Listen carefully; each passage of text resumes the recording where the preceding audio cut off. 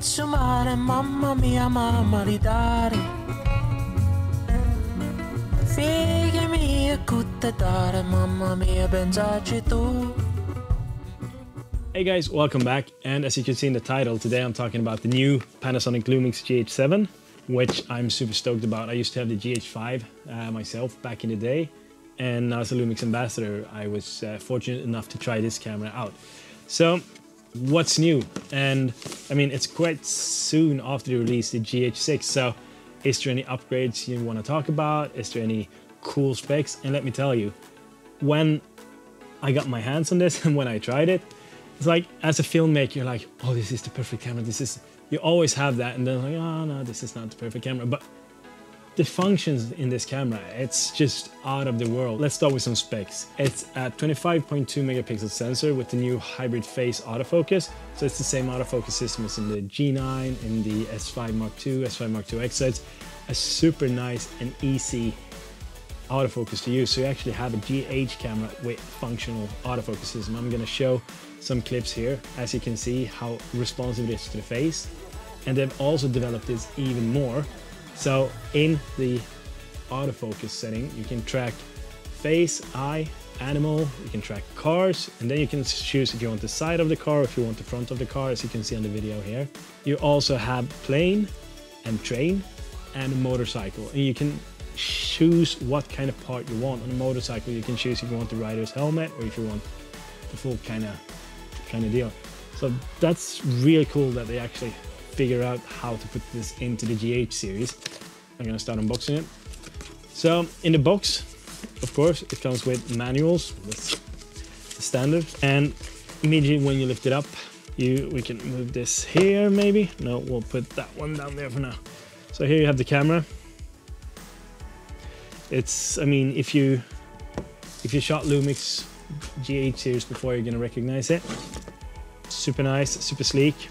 One new addition that I noticed from when I used the GH5 is the uh, this button. It's an info button. I kind of pushed that one sometimes and thought I was pressing record, but I think it's just a matter of getting used to. You have the same kind of dial on top as you always had that you can lock and unlock. So that's uh, super nice and easy. Also, one thing that you had in the GH6, which you also have in this, it's a tilt and a swivel. Let's see if I can get a good, yeah, I think I can get a good hit. So you can tilt it out and you can also have it, you know, fully out. And this also makes sure that you don't hit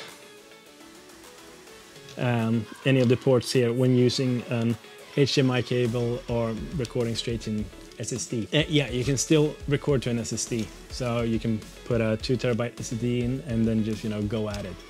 So you have a good workflow when it comes to recording and then put it into the computer. You can even edit off your SSD disk. So it's super easy. What more? Yeah, now I've just, you know, said some of the cool things, but trust me, I'm, I'm not even halfway. Uh, one thing that Lumix, or Lumix, one thing that Panasonic actually is including with this camera, it's this. It's BNC, so you can actually put timecode in straight out of the box when you get it. So it's a BNC to their adapter, which is super handy if you're using, let's say, the um, Rode Wireless Pro or anything else that you actually have time timecode and want to put it into into your camera without having to jeopardize the audio with putting in, you know, the uh, 3.5 that goes. Well, yeah, you know what I mean. Okay, so camera-wise, it feels like you used to. It's still a Micro Four Thirds sensor. One thing though that is insanely cool with this, and I can't say that enough. This little camera records ProRes RAW HQ internal. That's just, I was so shocked. It records, of course, ProRes 422, ProRes HQ. It records ProRes RAW 5.8K internal. Just, you know, kind of wrap your head around that. Before we always had to get it out to the Atomos uh, Ninja or Shogun to do an external recording of the RAW, but now you can actually do it inside here and at the same time record proxies. This camera has something that I wish that my S5 IIX has. It has one CF Express Type B slot and then it has one regular SD card slot, which means you can record super fast and you can record, you know, at bigger file sizes and with bigger file sizes also more quality. I think that's one of the reasons why you can record raw internal with this because you have a faster memory card to write to. So that's one thing that I find amazing with this one.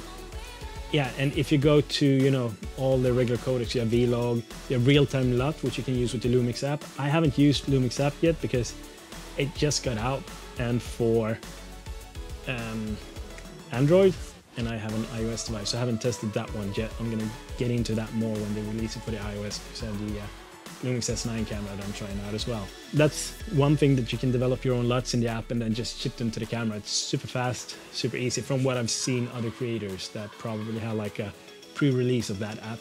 And when it comes to, to frame rates and things like that, so when you shoot ProRes RAW HQ and ProRes RAW in 5.7K, you can record 23.7 frames per second, 25 or 24 depending on what frequency you're on. But when you shoot the regular ProRes RAW, uh, Cinema 4K, you can shoot up to 60 frames per second. So you actually can shoot ProRes RAW in slow motion internally, which is just. When it comes to the regular codecs, the MOV MP4 that you have in the camera, you have a lot of flavors to play with when you're doing the, uh, the frame rates. In OpenGate, you can still shoot 30, 25, and 24 in 420 10-bit. So that's still if you want to shoot in OpenGate. If you shoot in Cinema 4K resolution, then you can shoot it up to 60 frames per second in 422 10-bit. But if you drop to 420 10-bit color, you can actually get 120 frames per second in Cinema 4K. And if you drop down to 4K, you have the same kind of codecs. You have up to 60 frames per second in 4K, 422 10-bit, and up to 120 frames if you go 420 10-bit. So it's still a lot of information and a lot of files. As you can see here in the little fire video, this is shot in 100 frames per second. And I just love the, the color rendition that the Lumix actually gives out. It's insane the quality that you get. Okay, but if you drop down to full HD, you can still have 240 frames per second in 422 10-bit. That's just an insane amount of information that you still can work with in a 1080 1080p workflow and you can still upscale it if you use DaVinci or something like that because slow motion is usually you know how it is. Okay, record limits, cooling, does it overheat? Well, they put in here behind the uh, monitor, they have an active cooling fan and they also removed all limits of recording. So you have no recording limits. You can record how long as you want and if you record to an external SSD, I mean, there you can record until the SSD is full in 2 terabytes. That's a lot of memory to fill. Yeah, one cool thing that you have with this, you can still record in Cinema 4K, 50, 60 frames per second, and still output over HDMI. So you can, you know, record via HDMI as well. So if you record Cinema 4K, put it to an external monitor, recording it there, and then also record it as a proxy, you actually have three different files to work with. I don't know why you would want it, but if you're super scared that your footage will get lost, yeah, of course, that's the solution. Okay, so I left one thing out, and this is one of the coolest features for me. So it's the DMW XLR2. It's the XLR adapter for the uh, GH7. And what they've done is they've also included a microphone adapter that you can put on. So you can have your microphone just set like this. They also have the little locking mechanism here. So you just put it on and lock it. And you still have a cold shoe on top if you want to have some accessories there. So there's been another XLR adapter. So what's cool with this? Well, this one actually is doing something that's the world's first, as far as I know, and that's if you have this on, you actually get 32-bit float internal on the camera.